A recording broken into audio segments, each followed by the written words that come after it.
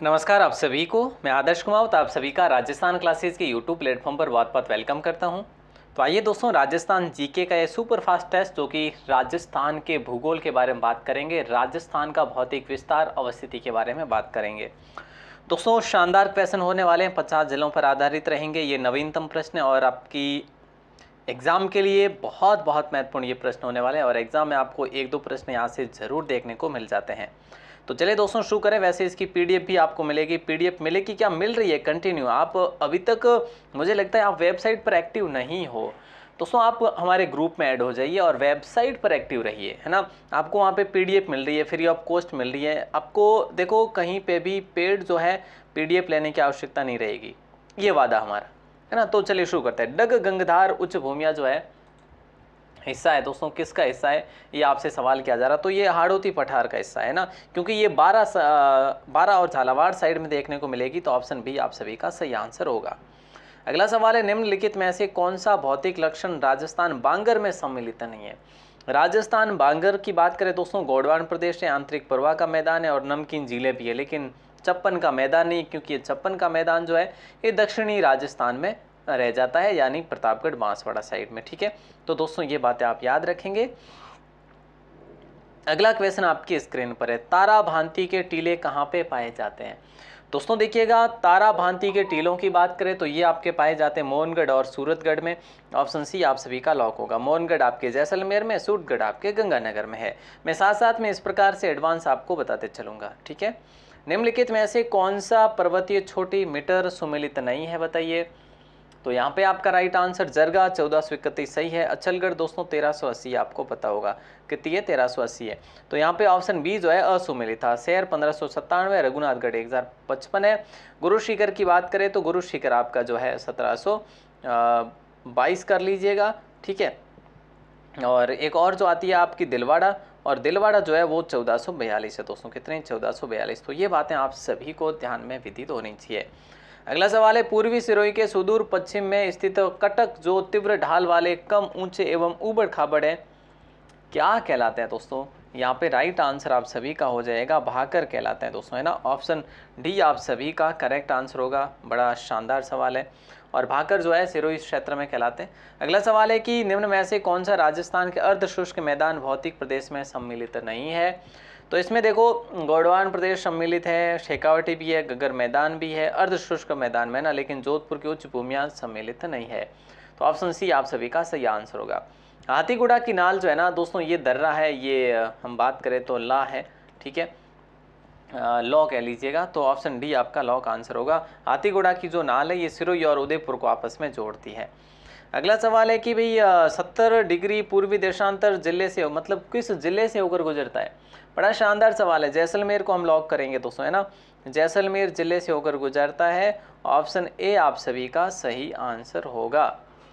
विंध्यन कगार भूमिया किस नदी के बीच स्थित है दोस्तों? तो विंध्यन कगार भूमिया जो है वो आपका राइट आंसर होगा। ऑप्शन ए चंबल और बनास के मध्य में स्थित है। बड़ा ज़बरदस्त सवाल था ये और ये कई बार एग्ज़ाम में भी पूछा गया प्रश्न है।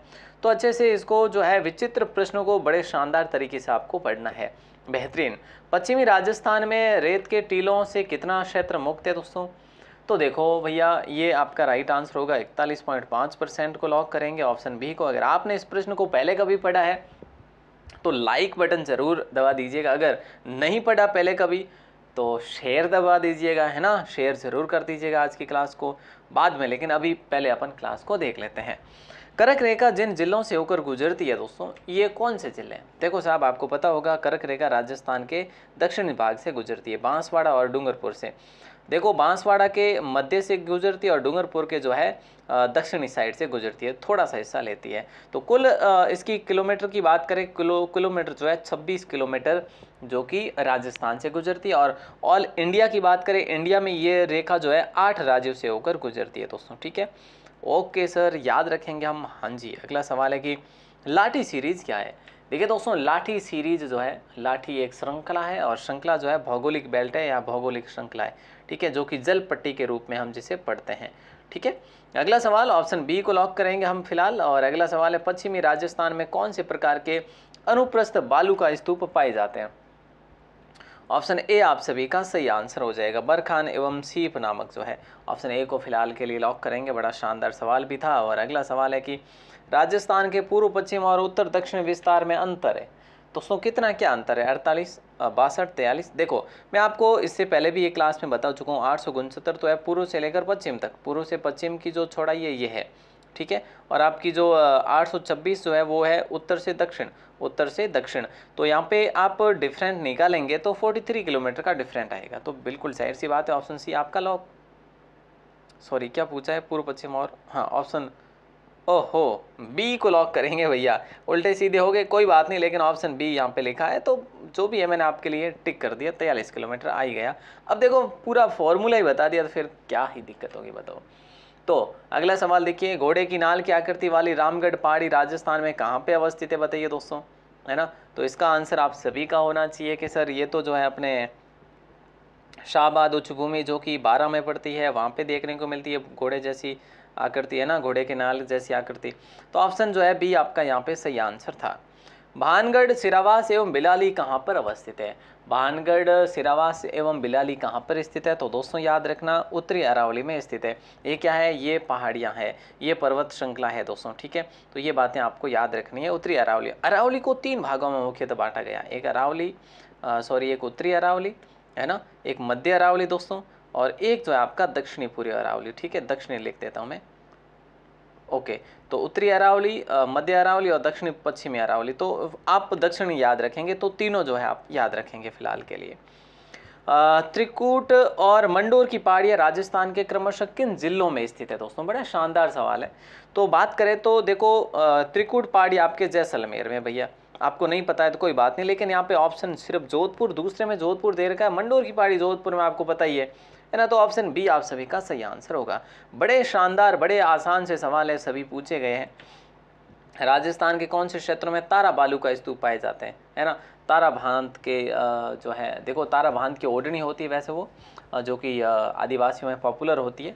ठीक है तो तारा बालू का स्तूप फ़िलहाल की बात करें तो मोहनगढ़ क्षेत्र जैसलमेर और सूरगढ़ क्षेत्र गंगानगर में पाया जाता है। तो ऑप्शन ए आप सभी का सही आंसर हो जाएगा। निम्न में ऐसे इन कथनों पर विचार करो और कूट का प्रयोग करके सही उत्तर का चयन करो भैया। बड़ा शानदार सवाल है। राइट आंसर, दक्षिणी अरावली प्रदेश में सिरोही, उदयपुर, सलूम्बर और राजसमंद ज़िले सम्मिलित है। आबू पर्वत समुद्र तल से लगभग 1900 मीटर ऊँचा है। ये गलत बात है दोस्तों, है ना? और, आबू पर्वत की प्रमुख चोटियाँ शेर अचलगढ़, ऋषिकेश और गुरुशिखर, ये भी ठीक बात है। तो मुझे लगता है कि ए और सी सही है। तो ए और सी ऑप्शन डी में सही है है ना? ऑप्शन डी में ही होगा। तो आबू पर्वत समुद्र तल से लगभग 1220 मीटर की ऊंचाई पर स्थित है। आबू पर्वत की बात हो रही है, माउंट आबू की बात नहीं हो रही दोस्तों, ठीक है? तो ये बड़ा अच्छा क्वेश्चन भी है और अगला सवाल आपके स्क्रीन पर है। अगला सवाल है कि भी जैसलमेर स्थित आकल काष्ट जीवांशों की आयु लगभग कितनी मानी गई है? तो 18 करोड़ वर्ष पुरानी मानी गई है। कितनी?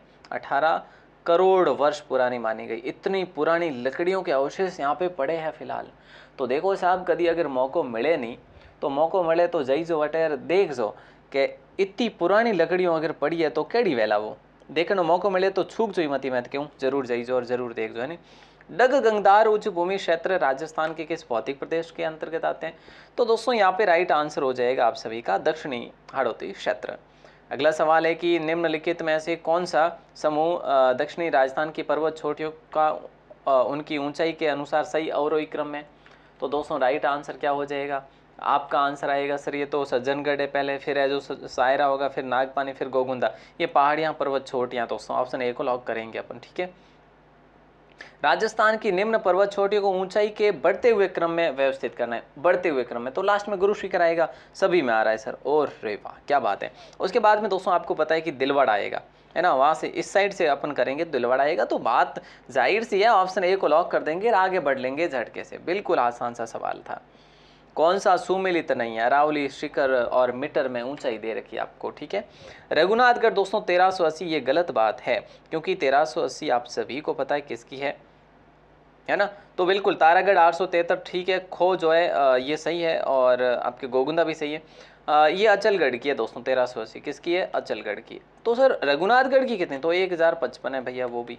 तो ये बातें आपको याद रखनी है भैया, और अगला सवाल आपकी स्क्रीन पर है कि राजस्थान के निम्न जिलों की पूर्व से पश्चिम दिशा अनुसार सुव्यवस्थित कीजिए।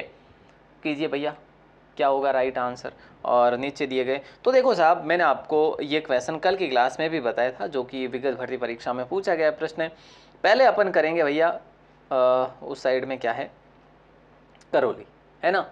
बिल्कुल सर, पहले करौली करेंगे, ए को करेंगे पहले, ठीक है? उसके बाद में हम करेंगे सवाई माधोपुर, डी को करेंगे हम, ठीक है? सॉरी पहले ए, फिर डी इस साइड आएगा, और डी इस साइड आएगा, ए, डी, कहीं आ रहा है ए, डी? बिल्कुल आ रहा है, ऑप्शन बी में आ रहा है सर। चलो, उसके बाद अजमेर, उसके बाद जोधपुर कर लेंगे, और आगे बढ़ लेंगे, ऑप्शन बी को लॉक कर देंगे। अगला सवाल आपके स्क्रीन पर, अठारह सौ ईस्वी में कौन से वो विद्वान थे जिन्होंने पहली बार वर्तमान राजस्थान क्षेत्र के लिए राजपूताना शब्द का प्रयोग करा था, दोस्तों? राजपुताना नाम सबसे पहले कहा था, जॉर्ज थॉमस ने 1800 ईस्वी में, दोस्तों, याद रखना। झालावाड़ झालावाड़ अवस्थित है। जल्दबाजी में पता नहीं क्या क्या बोला जा रहा है। तो झालावाड़ अवस्थित है, दोस्तों? कहाँ पे अवस्थित है झालावाड़? हाड़ोती प्रदेश में है क्या? हाँ जी सर, हाड़ोती पठार में है झालावाड़। तो बड़ा आसान सा सवाल था। निम्न में ऐसे कौन सा मध्य अरावली में अवस्थित है? ऐसे प्रश्न अगर पूछे ना तो बड़ा आनंद ही आ जाए मध्य में। मध्य में तो भैया नागपाड़ मध्य में है है ना? नागपाड़ मध्य में बिल्कुल गोराम जी है, जैसे मोरार जी है, ये भी मध्य में है। तो ये बातें आपको याद रखनी है। अगला सवाल है, राजस्थान की पर्वत चोटियों के समूह को उनकी ऊंचाई के अनुसार अवरोही क्रम में चयनित करना है।